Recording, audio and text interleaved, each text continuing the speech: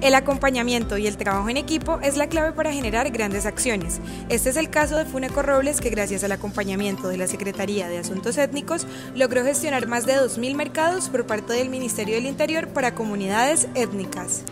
Las personas para las ayudas fueron seleccionadas de acuerdo a los criterios que generó el gobierno nacional y era que no estuvieran eh, en otros programas de gobierno nacional, que no recibieran otros apoyos y que fueran familias que eh, tuvieran una necesidad eh, bastante fuerte a causa de las limitaciones que nos generó la pandemia.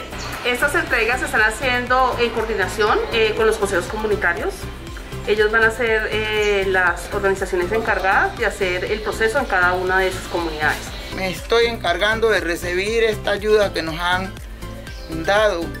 Agradecerles de antemano a Papito Dios y a todos los que han podido contribuir en esta gestión. Muchas gracias, pues primero al Gobierno Nacional por habernos tenido en cuenta, a Carlos como el representante de, de Fúnico Robles, y también a la Secretaría de Asuntos Étnicos.